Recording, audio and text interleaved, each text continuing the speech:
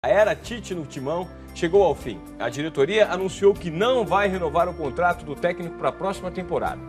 Em três anos de Parque São Jorge, o Tite conquistou nada mais nada menos que cinco títulos e se tornou o técnico mais vitorioso da história do clube, Glenda. Pois é, uma história muito bonita, né? Tite ainda vai comandar o Corinthians nas quatro partidas que faltam no Brasileirão. Hoje, contra o Vasco, ele fará o penúltimo jogo dele no Pacaembu, estádio que o consagrou e mesmo antes de partir, já tem muita gente no clube sentindo a falta do técnico Tite.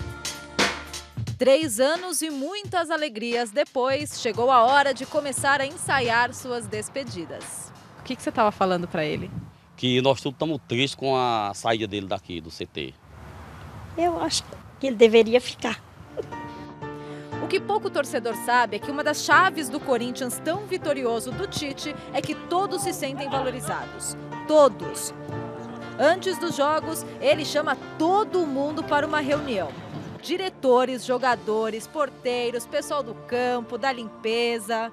Por que você fica tão emocionado assim? Porque ele trata a gente sempre bem. Assim, o respeito, o carinho que ele tem por a gente, ser da limpeza. Uma pessoa como o Tito nunca mais entra no Corinthians. Em três anos ganhou cinco títulos, né?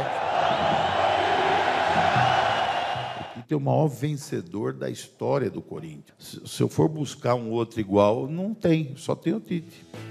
Ele é o segundo treinador que mais dirigiu o Corinthians, 268 jogos, só perde para Oswaldo Brandão, que foi técnico cinco vezes do Timão e somou 441 partidas.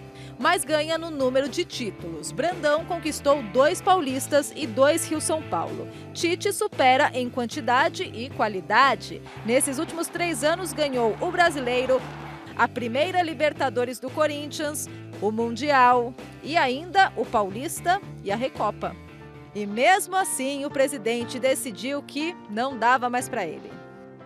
Às vezes você precisa dar um tempo, parar, tá certo? É salutar. E algumas coisas aconteceram que não ficaram públicas, coisas internas do grupo, um desgaste com os jogadores. Alguns jogadores saíram nesse ano, nesse, nessa trajetória, última trajetória do Tite, que deve ter desagradado pelo comportamento, também deve ter desagradado o grupo também. Então eu acho que houve um desgaste muito forte ali entre é, comissão técnica e jogadores. E talvez a diretoria também.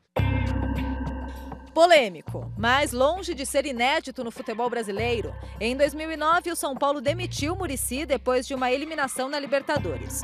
Nos três anos anteriores, ele tinha sido tricampeão brasileiro. No futebol existe esse negócio, né, de que tem, tem que se reformular tudo e aí começa com o treinador, né? É uma coisa nossa, mas que não que a gente não não está de acordo porque ele está lá três anos só conquistando. O Corinthians não confirma o que todo mundo diz, que Mano Menezes deve voltar ao clube. 99,9% de, de certeza que, que esse 0,1 é só por questões de detalhes de assinatura, assinatura de contrato, uma outra coisinha. É, qual é a mudança que o Corinthians tem que ter sem perder justamente essa disciplina? Eu acho que é soltar um pouquinho mais o time.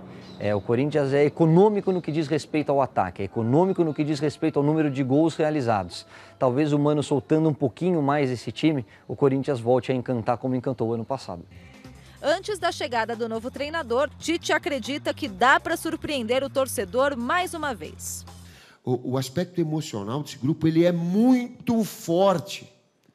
E em nenhum momento essa equipe que ela enfrentou um Chelsea da vida com todas as dimensões e foi para dentro e foi campeã, eu vou duvidar da capacidade dela de classificar para uma Libertadores ou de vencer um jogo, porque eles já comprovaram, não através de fala, mas de comportamento que pode chegar. Ele tem o dom da palavra e ele sabe mobilizar os, os, as pessoas em volta dele. Mas antes de ser Tite, ele é o Adenor. Pode ir. Eu comecei. E eu? Jóia? Esse meu time aqui, eu sou técnico de vocês agora. O maior treinador que eu, com quem eu trabalhei. Só faltam quatro jogos para retribuir os agradecimentos e as gentilezas para que chegue ao fim a Era Tite, a mais vitoriosa da história do Corinthians. E hoje o Tite é campeão brasileiro, é campeão da Libertadores de 2020.